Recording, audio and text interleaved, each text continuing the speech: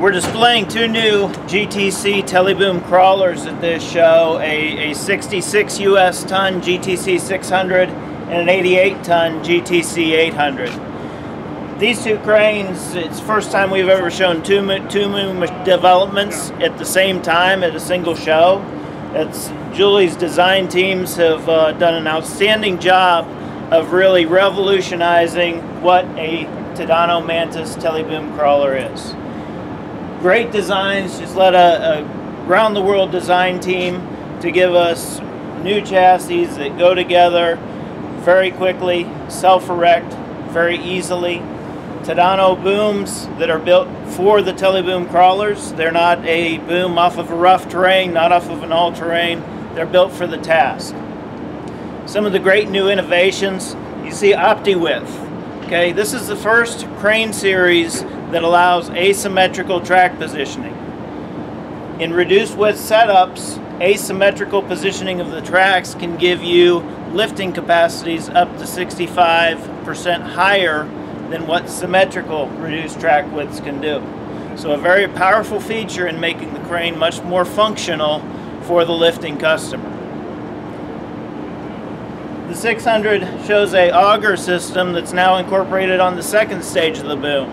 That allows telescoping to over 55 feet of radius and allows drilling off of any position from the crane.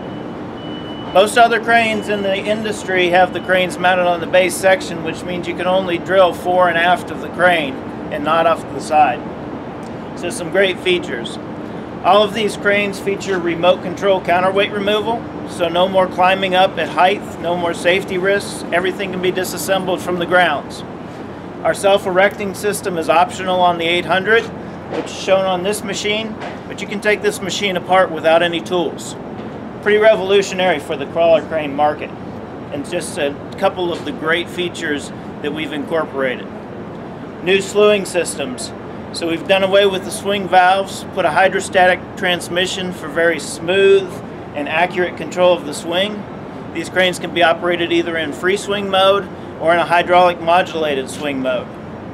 The hydraulic modulated mode incorporates with the AMLC load system so that we can have zone charts for increased capacity over front, rear, side on opti width and still be safe in our operation of the crane so that we have soft stops anytime that we reach an operating limitation. Just a few of the great features that are on these cranes, revolutionizing the market the GTCs pick competitively with any equivalent size rough terrain crane. They have automatic out of level switching load charts. Again, another revolutionary item in the industry.